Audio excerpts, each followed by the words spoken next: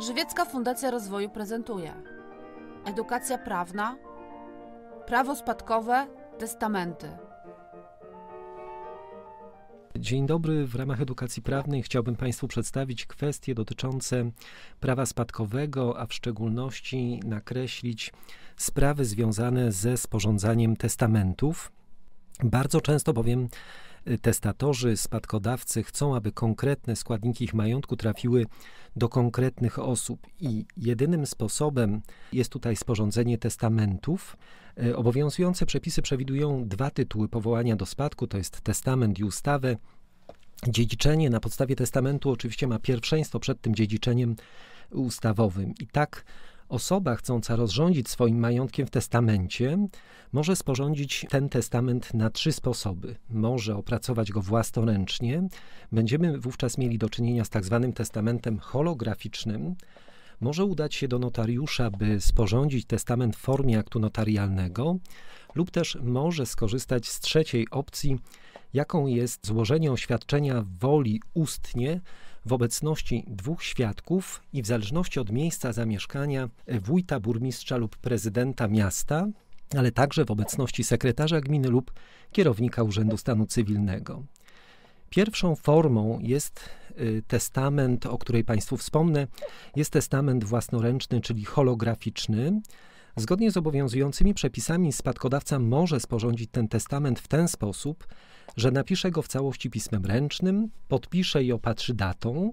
Testament własnoręczny, aby zachował swą ważność, nie musi być y, nazywany w swej treści przez spadkodawcę testamentem pod warunkiem, że jego forma odpowiadać będzie wymogom przewidzianym w przepisach prawa spadkowego. Konkretnie chodzi o artykuł 949, paragraf 1 kodeksu cywilnego. Tu nasuwa się mi pytanie, czy w przypadku testamentu własnoręcznego, czy taki testament w ogóle można sporządzić za pomocą komputera i wydrukować i następnie czy może być on podpisany przez testatora, czy też może być na przykład na maszynie spisany i również podpisany przez spadkodawcę, czyli testatora. Otóż wydaje się, że Przepisy obowiązujące nie przewidują w przypadku testamentu własnoręcznego zastosowania takiej formy. Pismo bowiem wykazywać musi indywidualne cechy testatora umożliwiające jego identyfikację, czyli musi być ten testament absolutnie napisany w całości pismem ręcznym. Kolejne pytanie, które tutaj się nasuwa, czy taki testament może być sporządzony przez spadkodawcę, który jest kaleką, nie ma na przykład rąk, a potrafi pisać za pomocą protezy ustami, nogą? Oczywiście tutaj na to pytanie należy udzielić twierdzącej odpowiedzi. Wystarczy, że zostanie zachowana właściwa forma tego testamentu. Dla jego ważności nie ma bowiem znaczenia sama forma, materiał, na którym zostanie on spisany, ani też język, w jakim zostanie sporządzony. Istotne znaczenie ma tutaj, aby testator sporządzając ten testament, y, znał jego język i go rozumiał. Najważniejsze w przypadku testamentu własnoręcznego jest to, aby przede wszystkim był sporządzony w sposób czytelny. Jeżeli bowiem pismo własnoręczne testatora będzie nieczytelne, no to oczywiście taki testament będzie bezskuteczny. Wiemy już, że testament własnoręczny musi być napisany w całości pismem ręcznym, musi być opatrzony datą i musi być podpisany. Co to znaczy, że musi być opatrzony datą? Czy brak daty pociąga za sobą nieważność takiego testamentu? Z zasady brak daty nie pociąga za sobą nieważności testamentu własnoręcznego, ale pod warunkiem, że nie wywoła on wątpliwości po pierwsze co do zdolności spadkodawcy do sporządzenia testamentu, co do treści tego testamentu lub co do wzajemnego y, stosunku kilku testamentów. I tutaj posłużę się postanowieniem Sądu Najwyższego z 1975 roku, z którego wynika, że nieopatrzenie testamentu własnoręcznego datą nie pociąga za sobą jego nieważności. W wyniku bowiem postępowania dowodowego data sporządzenia testamentu własnoręcznego może być ustalona także w przybliżeniu, a także może zostać nieustalona, byleby tylko ten stan rzeczy nie wywoływał wątpliwości między innymi co do wzajemnego stosunku kilku testamentów, czyli kilku dokumentów. Dopiero w razie wywołania takiej wątpliwości testament będzie nieważny. Kolejnym elementem, który jest niezwykle istotny przy tej formie testamentu, czyli przy testamencie własnoręcznym, jest oczywiście podpis. Testament ten musi być podpisany imieniem i nazwiskiem. Podpis pod testamentem własnoręcznym ma bowiem na celu ułatwienie stwierdzenia, że sporządzony dokument jest ukończony, a osoba sporządzająca testament ma wolę i świadomość testowania i że ten konkretny dokument, ten testament pochodzi od określonej osoby. Sam błąd w nazwisku oczywiście nie będzie miał tutaj większego znaczenia. Możliwe jest podpisanie się pseudonimem, ale tylko pod warunkiem, że tego pseudonimu spadkodawca, testator używa i jest on powszechnie znany właśnie pod tym pseudonimem. Z pewnością y, taki testament nie może być sporządzony ani też za pomocą, y, podpisany ani za pomocą faksymile, ani też nie może być y, podpisany inicjałem lub też parafą. Forma skrócona nazwiska oczywiście może być używana pod warunkiem również, że taką formą posługuje się testator, przyszły spadkodawca na innych dokumentach jesteśmy w stanie stwierdzić, że faktycznie porównując e, te dokumenty, że to właśnie chodzi o tą konkretną osobę. Podpis spadkodawcy powinien znajdować się pod dokonanymi rozrządzeniami, co jest niezwykle istotne, co znaczy, że podpis ten nie może znajdować się ani na początku testamentu, nie może znajdować się w tekście, na marginesie. Rozrządzenie bowiem zapisane poniżej podpisu no, będą nieważne. Sam spadkodawca w trakcie oczywiście sporządzania tego testamentu może dokonywać skreśleń wyrazów, nawet może dokonywać y, skreśleń całych zdań wówczas y, uznane zostaną one za niezapisane. Co w przypadku, gdy taki testament własnoręczny zaginie?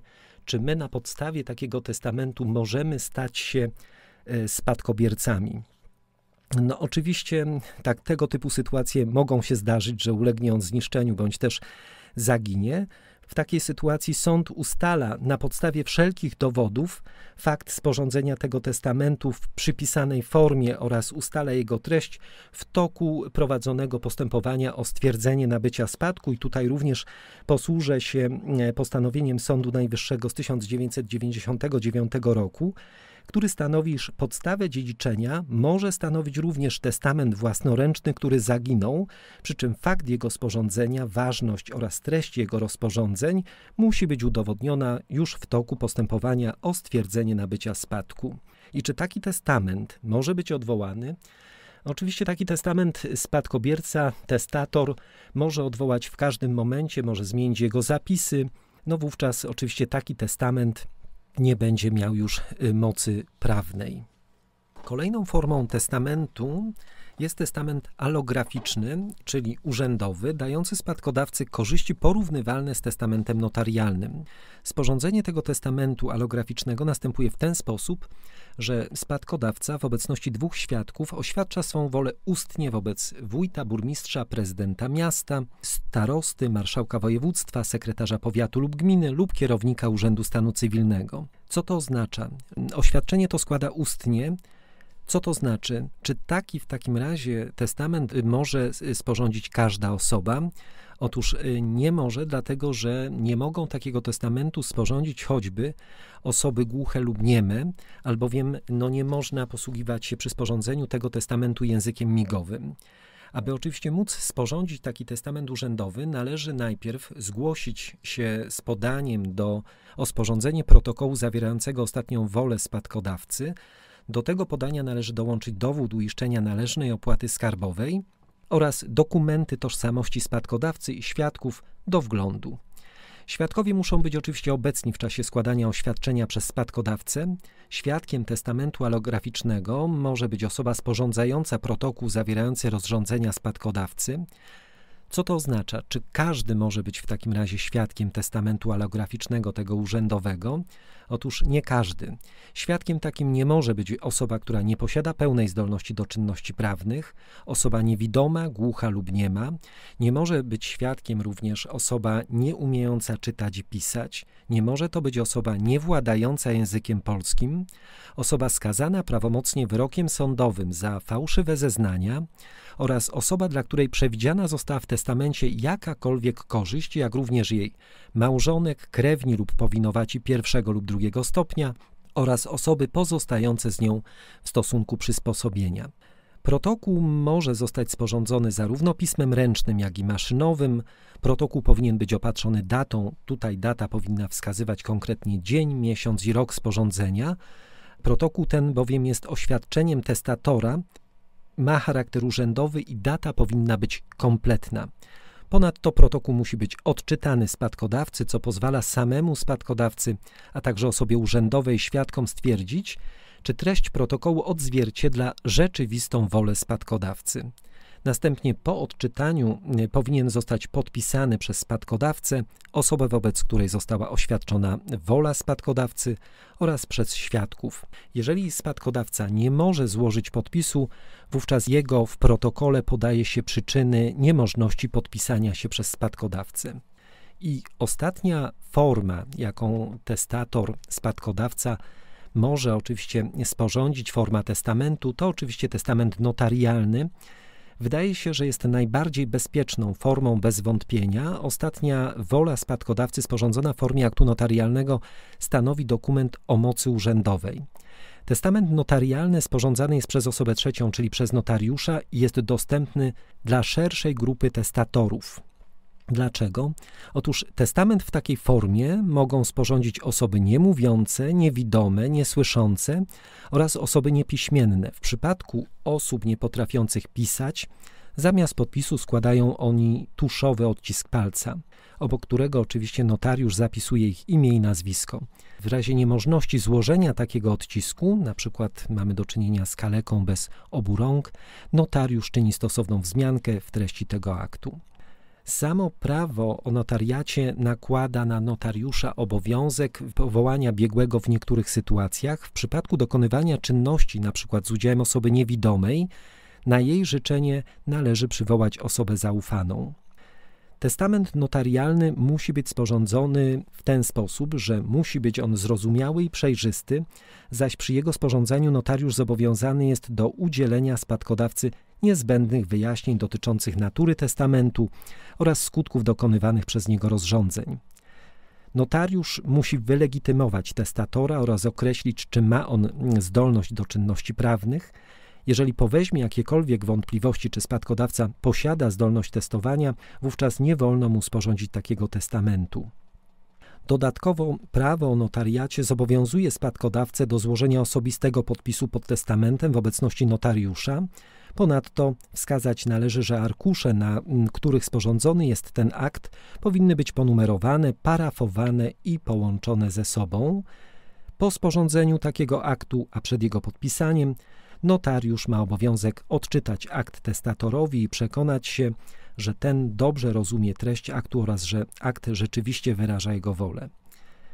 Taki testament sporządzony przez notariusza może być wprowadzony do notarialnego rejestru testamentów, co ułatwia spadkobiercom po śmierci testatora odnalezienie oczywiście tego testamentu. Za pomocą rejestru mogą bowiem dowiedzieć się, do którego notariusza mają się zgłosić po testament i każdy, kto okaże w dowolnej kancelarii notarialnej odpis aktu zgonu, uzyska informacje o sporządzonych i zarejestrowanych testamentach określonego spadkodawcy lub o ich braku. E, mam nadzieję, że wiedza przedstawiona przeze mnie w tak telegraficznym skrócie rozwieje Państwa obawy co do sposobu i formy rozrządzenia swoim majątkiem na wypadek śmierci, a niezdecydowanym pomoże w podjęciu właściwej decyzji. Dziękuję za uwagę. Podcast powstał w ramach projektu Świadomy Obywatel, Świadoma Obywatelka realizowanego przez Żywiecką Fundację Rozwoju, finansowanego ze środków będących w dyspozycji Ministra Sprawiedliwości, uzyskanych w konkursie przeprowadzonym przez Starostwo Powiatowe Żywiec.